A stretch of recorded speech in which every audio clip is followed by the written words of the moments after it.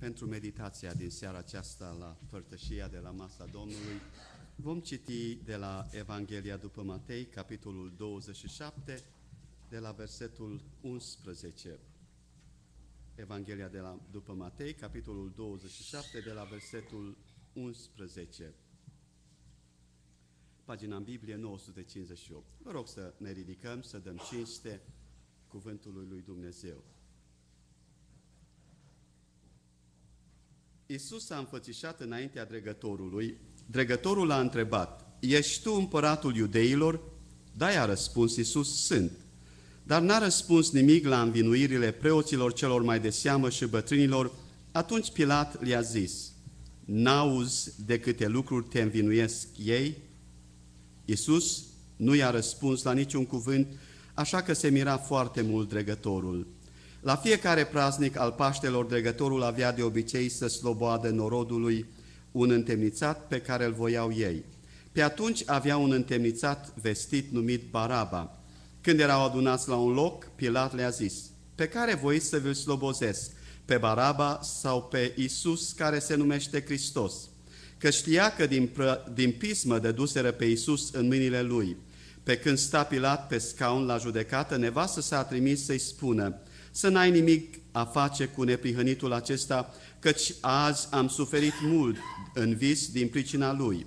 Preoții cei mai de seamă și bătrânii au înduplecat noroadele să ceară pe Baraba, iar pe Iisus să-l omoare. Dregătorul a luat cuvântul și le-a zis, Pe care din amândoi voiți să vi-l slobozesc? Pe Baraba au răspuns ei.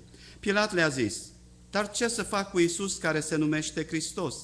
Să fie răstignit, i-au răspuns cu toții. Dregătorul a zis, dar ce rău a făcut? I-au început să strige și mai tare, să fie răstignit. Când a văzut Pilat că n-ajunge la nimic, ci că se face mai multă zarvă, a luat apă și a spălat mâinile înaintea norodului și a zis, Eu sunt nevinovat de sângele neprihănitului acestuia, treaba voastră. Și tot norodul a răspuns, sângele Lui să fie asupra noastră și asupra copiilor noștri. Amin. Ne rugăm Domnului. Doamne, în fața acestui tablou care este așa de emoțional și așa de înalt pentru noi, încât cuvintele acestea ne copleșesc inimile, simțămintele și gândurile noastre, am vrea așa de mult, Doamne, ca poposind la această stare în care Iisus, Fiul lui Dumnezeu, murea pe cruce. Doamne, am vrea așa de mult în seara aceasta să ne faci să înțelegem din, încă o dată adevărata semnificație a morții Tale. Binecuvintează, te rog, inimile noastre. Amin. Și, Doamne, am vrea ca să plecăm înviorați și îmbărbătați. Amin. Și să plecăm, Doamne, cu Iisus Hristos în inimile noastre. Amin slăvindu-L și onorându-L pe El. În numele Lui te rugăm. Amin. Vă rog să ocupați locurile. Am impresia că lângă Carmen stă Marinela, Domnul să te binecuvinteze.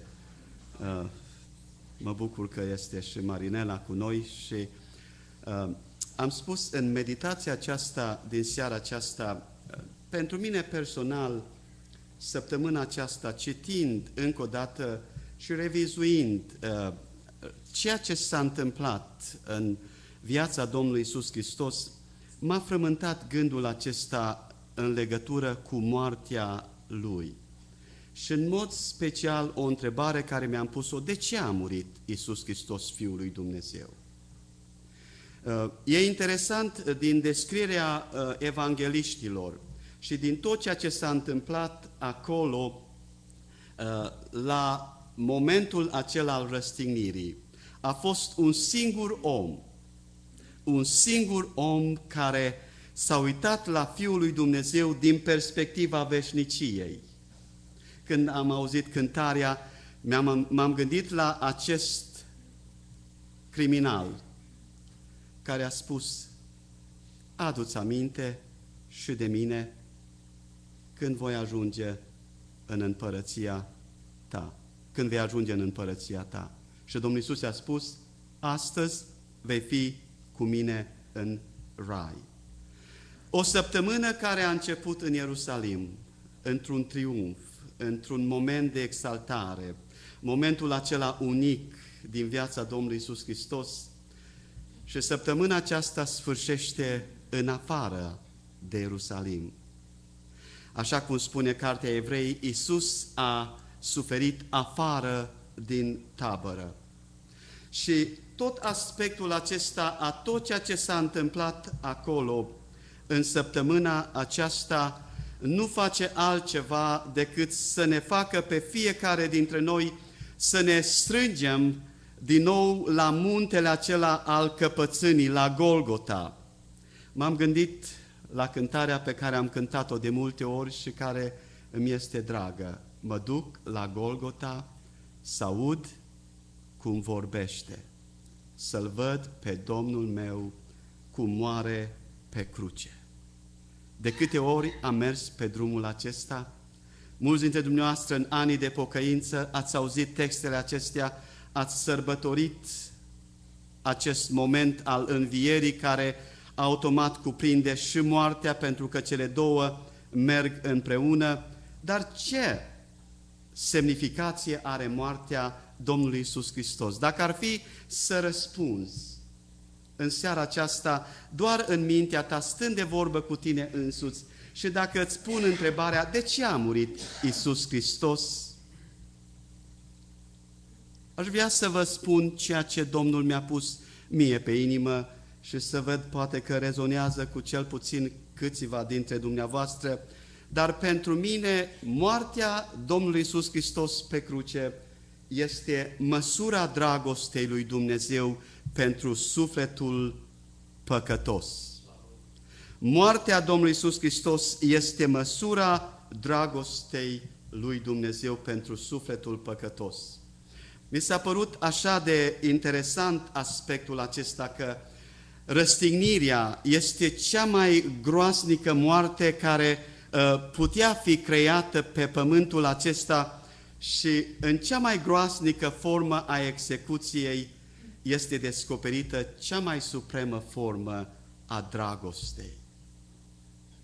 În cea mai groasnică formă a execuției, felul în care oamenii au găsit să-L omoară pe Fiul lui Dumnezeu, Dumnezeu descoperă cea mai supremă formă a dragostei.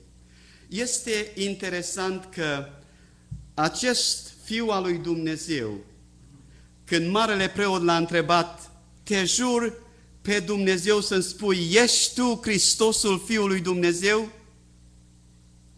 E interesant, dragi frați și surori, tineri, copii, că acest cuvânt, acest adevăr al lui Dumnezeu undeva a măcinat mințile oamenilor și au știut că Mesia trebuia să vină.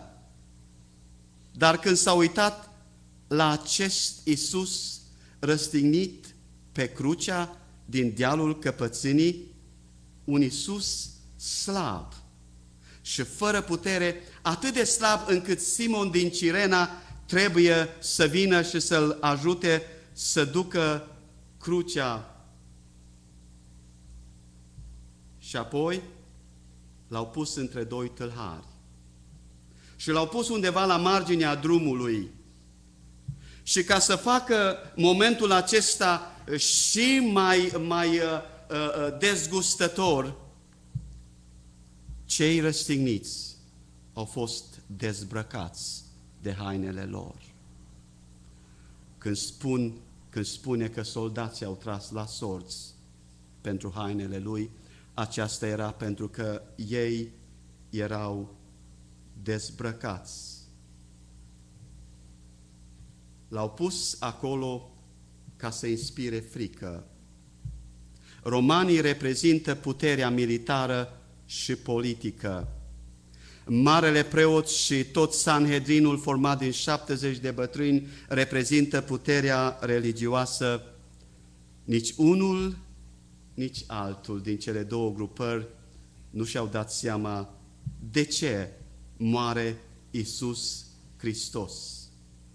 Cel ce are toată puterea în cer și pe pământ, cel care a deschis ochii orbilor, cel care i-a vindecat pe leproși, Cel ce a spus lui Lazar din mormânt, vino afară. Și spune cuvântul lui Dumnezeu în versetul 36, soldații îl păzeau. Se uitau la Fiul lui Dumnezeu cum moare. Cine poate să descrie suferința? Cine poate să descrie rușinea și batjocura? Dacă continuați în textul acesta de la versetul 26, ostașii îl batjocoresc, trecătorii îl batjocoresc. Dacă ești Fiul lui Dumnezeu, ai spus că strici templul și îl faci în trei zile. Iubiți frați și surori, dragi ascultători, ce oamenii au condamnat la Golgota, condamnă și astăzi. Acolo este tabloul suprem al dragostei lui Dumnezeu. Este ceea ce mintea omului nu poate să priceapă și e interesant că un evreu pe care Domnul Iisus Hristos cel înviat l-a întâlnit pe drumul Damascului, când se uită la realitatea aceasta, la faptele descrise de evangeliști, când se uită în urmă, el spune în Romani, capitolul 5, Dumnezeu și-a arătat dragostea prin faptul că pe când eram noi păcătoși, Iisus Hristos, Fiul lui Dumnezeu, a murit pentru noi. Romani 8 cu 3, Apostolul Pavel spune, trimițând din pricina păcatului pe însuși fiul, fiul său ca să moară. Iar în Romani 8 cu 32 el spune, n-a cruțat pe fiul său, ci l-a dat pentru noi. Știm lucrurile acestea și îmi dau seama că nu este ceva nou.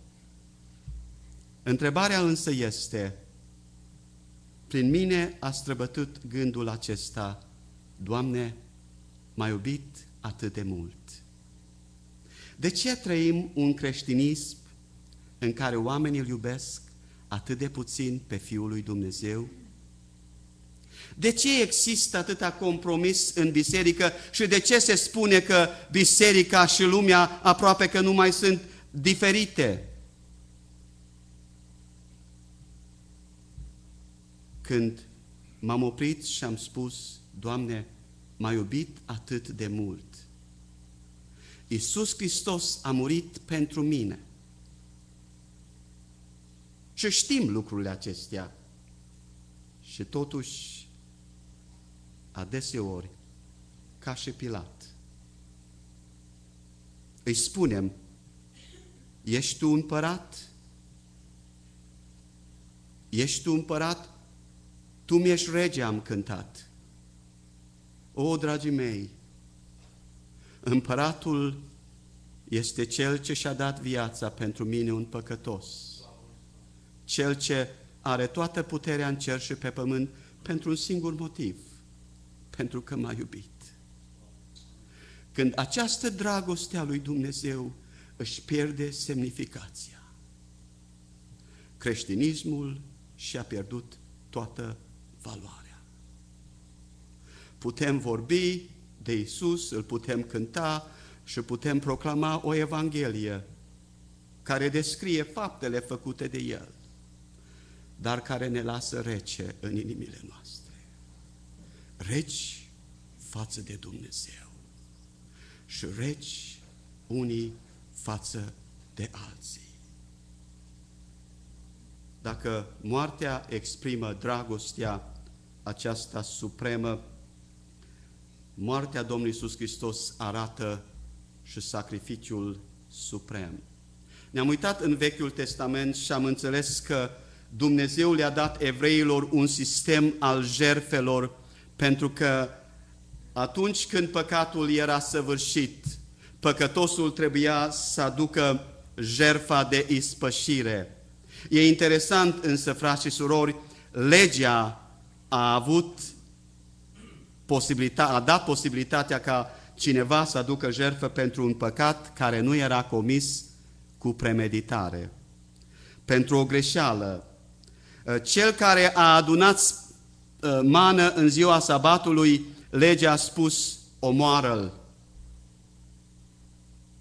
Legea este doar o ilustrație, doar uh, ceva ce ne face să ne pregătim și să înțelegem că într-o zi ceea ce doar a fost ilustrat în jerfele acestea, sistemul uh, jerfelor uh, din Vechiul Testament, avea să aibă un caracter desăvârșit în Domnul Isus Hristos. Mânia lui Dumnezeu și dragostea lui Dumnezeu sunt două lucruri care sunt incompatibile și oamenii se uită și spun, dacă Dumnezeu iubește pe om, de ce îl pedepsește? Poate ați auzit că în California, la o universitate creștină, cineva a omorât șapte persoane și a, a rănit în Oakland, uh, California, alte persoane.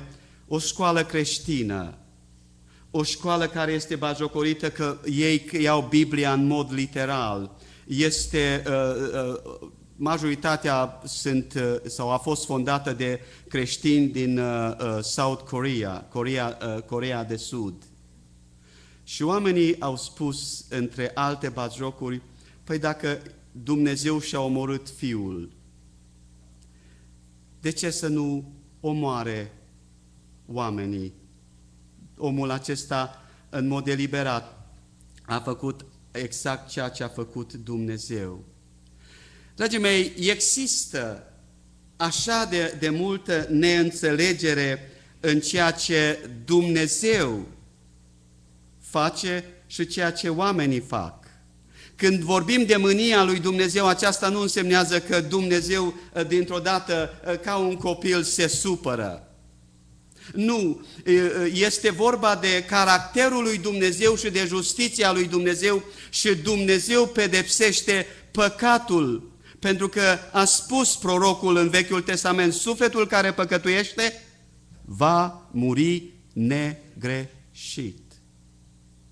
Și în dragostea pe care Dumnezeu o are pentru om, în realitatea faptului că păcatul aduce mânia lui Dumnezeu, așa cum spune Pavel în Roman, capitolul 1 cu 18, Dumnezeu însă a, des, a, a, a îngăduit ca în Isus Hristos să fie sângele care pro, ă, aduce jertfa de ispășire. În ă, ziua, de, ă, ziua ispășirii, odată pe an, Marele Preot intra în Sfânta Sfintelor și acolo era acea, îi spune mercy seat sau scaunul milei, care acoperea chivotul lui Dumnezeu, unde erau heruvimii. Și Apostolul Pavel, inspirat în Roman, capitolul 3, versetul 25, folosește aceeași expresie și spune pe Iisus Dumnezeu l-a rânduit să fie prin credință în, prin credința în sângele Lui o jerfă de ispășire.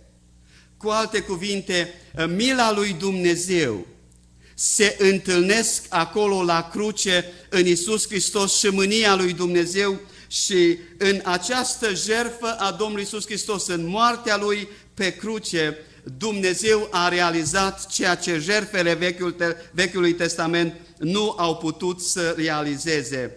De ce? Pentru că jerfa poate să îndepărteze mânia lui Dumnezeu, dar nu a adus împăcarea omului uh, cu Dumnezeu. Jerfa acoperă păcatul, dar nu poate să elibereze pe păcătos uh, de păcăto- uh, păcătoșenia lui. Legea nu iartă, ci numai condamnă. Numai sângele lui Isus Hristos este acela care aduce iertarea păcatelor. În Efeseni, capitolul 1, cu 7, avem iertarea păcatelor în sângele lui Iisus Hristos. În Coloseni, în, în Roman, capitolul 5 cu 9, Pavel spune, suntem socotiți neprihăniți prin sângele lui Iisus Hristos. În Coloseni 1 cu 20, avem pace cu Dumnezeu prin sângele lui Iisus Hristos. Întrebarea este în seara aceasta pentru fiecare dintre noi. Dacă dragostea lui Dumnezeu e importantă și dacă sacrificiul acesta al Domnului Iisus Hristos, a Domnului Iisus Hristos pe cruce este jertfa supremă, când disprețuim dragostea Lui, disprețuim jertfa Domnului Iisus Hristos pentru noi cei păcătoși. Și oricine și-a curajul să se spună, o, eu nu vreau să fiu acoperit de sângele Domnului Isus Hristos. Nu mă interesează lucrul acesta. O, dragii mei, cuvântul Domnului spune, nu mai există nici o altă jerfă. Sângele este esența vieții. Și atunci când evreii, noaptea când au fost scoși din Egipt, au pus sângele pe ușorii ușii, Sângele, de fapt, a anticipat viața primului născut din fiecare familie. Când spunem că sângele lui Isus Hristos ne curățește prin credință, acceptând sacrificiul acesta suprem în care Isus Hristos și-a dat viața, aceasta însemnează că sângele Lui a fost vărsat când cuvântul Domnului spune în Ioan a curs sânge și apă. În alte cuvinte, este viața lui Isus Hristos. Este aceea care mă reprezintă pe mine în păcatul pe care eu l-am săvârșit. Iisus Hristos, Fiul lui Dumnezeu, mă substituie pe mine. Pentru ca eu cel păcătos să pot să beneficiez de viața pe care El o dă, este puterea lui Dumnezeu în sângele lui Iisus Hristos.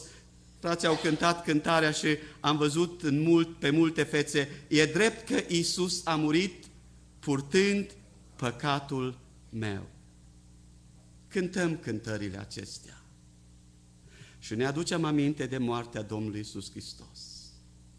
Dar, dragii mei, ori de câte ori lăsăm păcatul și îl tolerăm în viața noastră, nu facem altceva decât să spunem Sângele lui Isus Hristos nu este important pentru mine. Pentru că orice om care a cunoscut spălarea în sângele lui Isus Hristos, omul acela are o singură dorință. Să slujească pe acela care și-a dat viața. De aceea Apostolul Pavel, v-a mai spus și altă dată, spune, Pavel, rob al lui Isus Hristos. Și aș vrea să închei cu ultimul gând. Moartea Domnului Iisus Hristos este uh, mărturia, uh, măsura dragostei supreme a lui Dumnezeu. Este moartea arată sacrificiul suprem făcut de Dumnezeu și moartea Domnului Iisus Hristos este temelia credinței noastre și a Bisericii lui Iisus Hristos.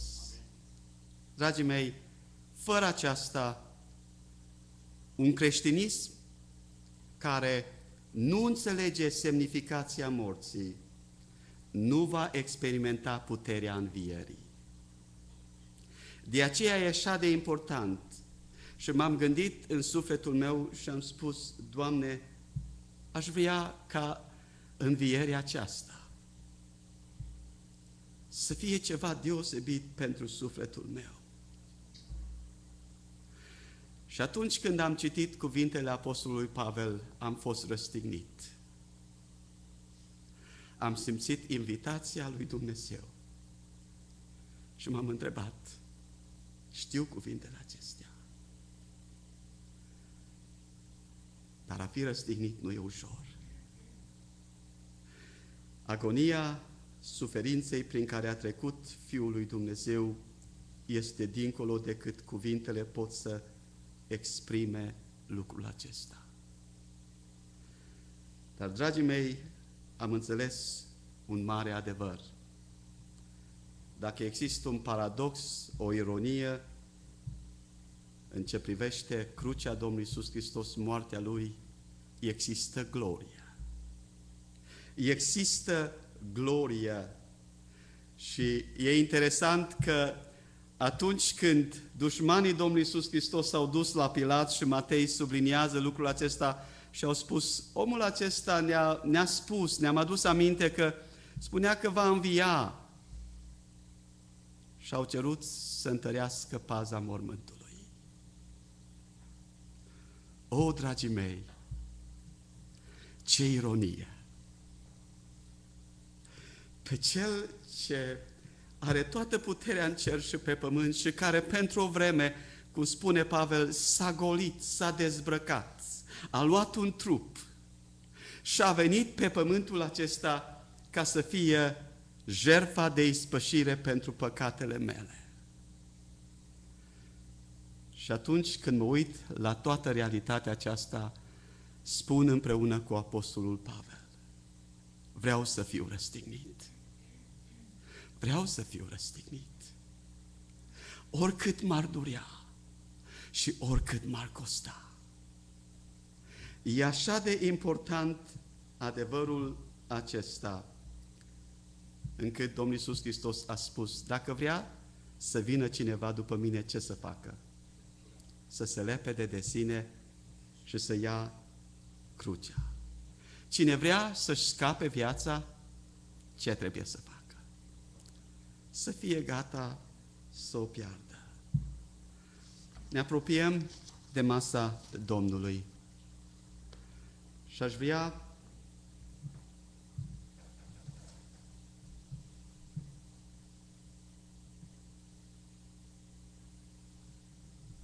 conștienți de adevărul acesta. Stă înaintea noastră pâinea și vin.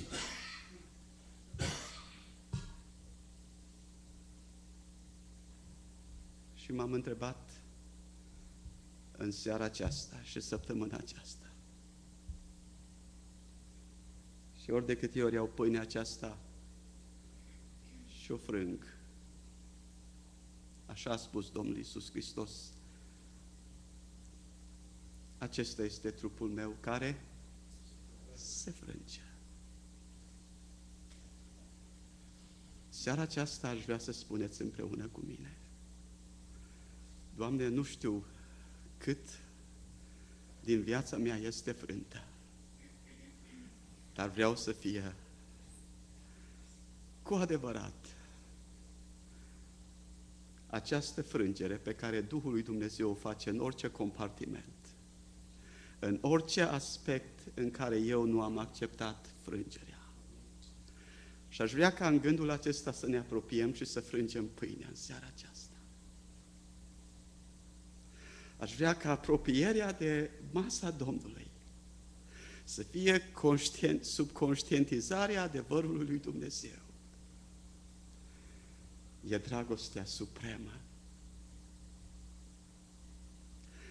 E singurul sânge care poate să curățească păcatul. Și aceasta este temelia credinței mele, a nădejdii mele și a nădejdii Bisericii lui Isus Hristos. Aș vrea să ne apropiem înaintea Domnului în rugăciune și aș vrea să rog pe fratele uh, Vasile, împreună cu fratele Cosmin, Vreau să cerem binecuvântarea peste pâinea aceasta. Domnul Iisus spune, s-a rugat și apoi a frânt-o. Și haideți să ne smerim. Și haideți că, ca momentele acestea să fie momente de cercetare și cu adevărat de zdrobire, dacă e nevoie, dar de biruință, în care să-i spunem, Doamne, prin credință te iubesc, pentru că sângele Tău mi-a iertat păcatul. Să ne rugăm, Domnul.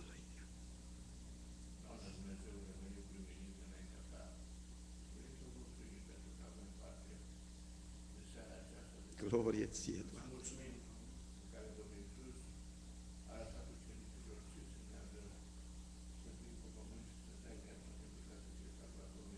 O, Doamne, Amém.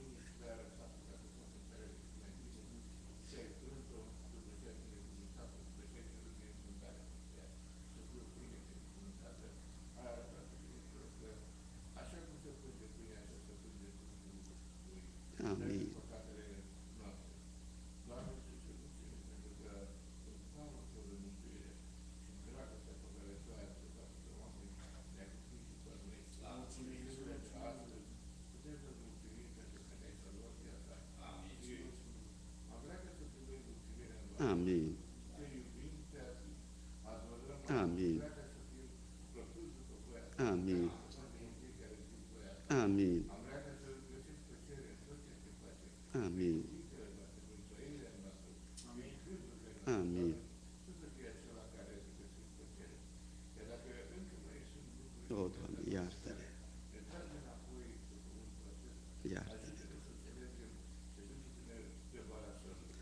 curățește-ți biserica.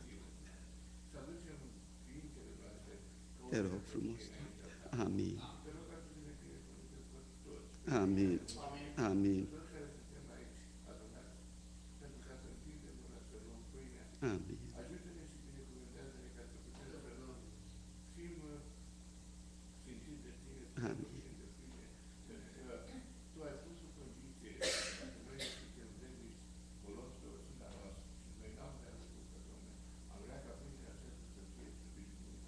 Amin. Te rog, Doamne. Amin. Amin.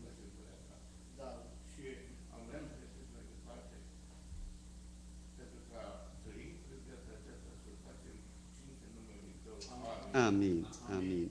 Mă duc la Golgota să aud ce vorbește să-L văd pe Domnul meu cum moare pe cruce. Mă duc la Golgota să aud cum vorbește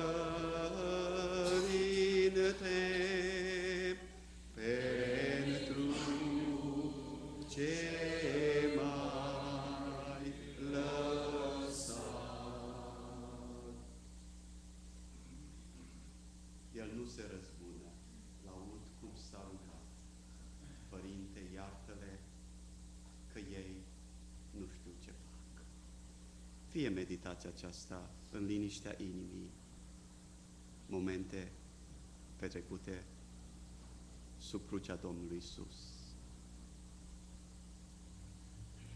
Vrea să fie momente de liniște și de cercetare.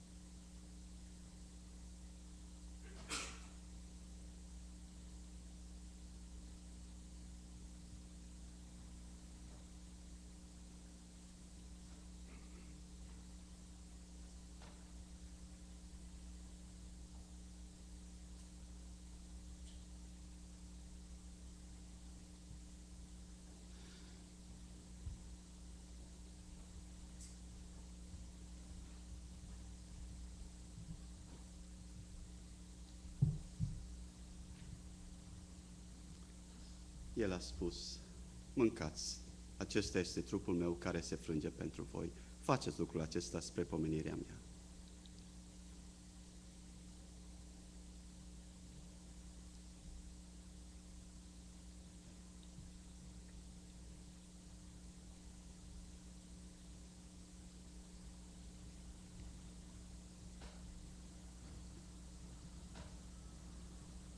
Venim înaintea Domnului și cerem binecuvântarea peste vinul care simbolizează sângele care a, a fost vărsat pe lemnul de durere. Preună cu fratele Cosmin, venim înaintea Domnului în rugăciune. Ce mare har că suntem în prezența ta și în seara aceasta. Ce mare har că ne-ai chemat să fim copiii tăi. Amin.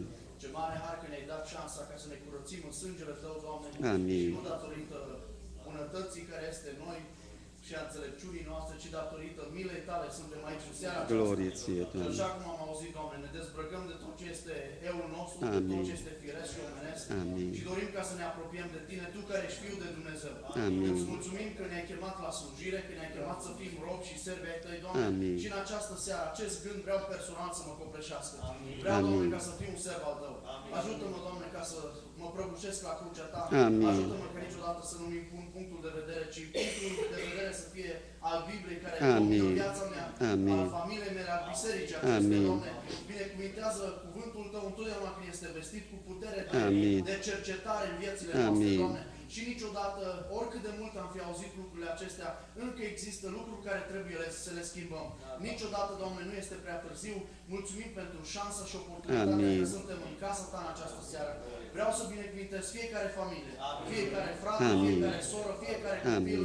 Doamne, cei care suntem aici și care nu sunt aici, Doamne, te rugăm frumos, păstrează-ne în harul Tău. Amin. Binecuvintează-ne, Doamne, cu lucrurile care avem nevoie, dar mai Amin. mult ajută-ne să ne păstrăm cu luna, Doamne, nevestejită. Amin. Să putem să ducem la bun sfârșit lucrarea la care ne-ai chemat. Amin. Numele Tău să fie lăudat în veci. Amin. Amin. Amin.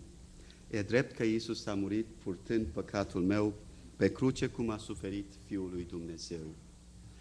E drept că Iisus a murit purtând păcatul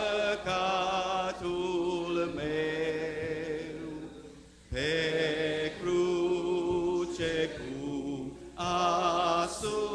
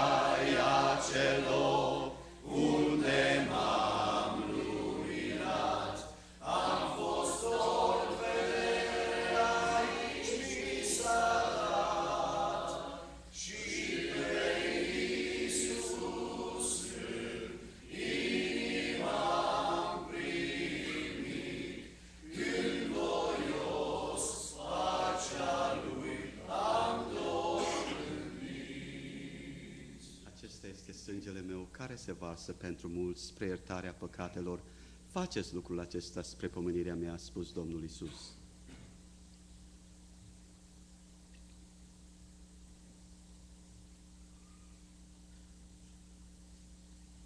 Și vrea să fac un îndemn special în seara aceasta pentru poate un singur suflet care în seara aceasta vrea să spună, Doamne, aprinde-mi inima mea de acea dragoste sfântă, ca și când am stat pentru prima dată sub crucea Ta. Amin. Poate că n-ai fost niciodată sub crucea Domnului Isus, dar în seara aceasta ai vrea să spui, Doamne, și eu aș vrea să vin. Amin. Și eu mărturisesc că înțeleg dragostea Ta, am nevoie de iertarea păcatelor și vreau să fiu un copil al Tău prin credință. Aș vrea să continuăm să ne rugăm pentru cei nemântuiți, aș vrea să ne rugăm pentru Charles, aș vrea să ne rugăm pentru uh, cei care trec prin întristări, cei care au gustat moartea sau celor care sunt în pragul morții sau celor dragi care și-au pierdut pe cei care au trecut din lumea aceasta. Aș vrea ca Domnul Dumnezeu să ne păstreze în această putere a dragostei Lui. Să ne țină lângă cruce, să ne țină la Golgota. Doamne Dumnezeule, Iisus Hristos, Fiul Tău, a venit să fie mielul fără de cusur. În numele Lui, Doamne, venim și Te lăudăm pentru această dragoste supremă. Te lăudăm pentru acest sacrificiu suprem. Și Te lăudăm, Doamne Dumnezeule, pentru că această temelie a credinței noastre ne-a susținut până în momentele acestea. Slavă Doamne, binecuvintează biserica Ta, Amin. binecuvintează de la cel mai tânăr, de la cel mai mic până la cel mai mare. Binecuvintează și pe cei care nu s-au împărtășit cu noi. Am vrea, Doamne Dumnezeule, să ne faci o turmă și un păstor. Aș vrea să te rog să lucrezi în fiecare inimă. Și aș vrea să te laud, Doamne, pentru că poate în seara aceasta cineva a spus, Doamne, și eu vreau să te iubesc. Și eu îți mulțumesc pentru dragostea care s-a jertfit pentru mine. Doamne Dumnezeule, însoțește-ne prin puterea aceasta și am vrea așa de mult, Doamne, ca întăriți de puterea învierii. Doamne, Tu ești viu în vecii, ve- în vecii vecilor și mormântul gol este o dovadă peste viacuri că Tu ești Cel ce ai dat biruința. Doamne Dumnezeule, fi biruitor în inimile noastre, în familiile noastre și fă, Doamne, o lucrare de biruință în viața celora pentru care ne rugăm. Binecuvintează, Doamne Dumnezeule, în continuare lucrarea Ta aici și oriunde se face și numele Tău să fie slăvit în veci de veci. Amin. Cântarea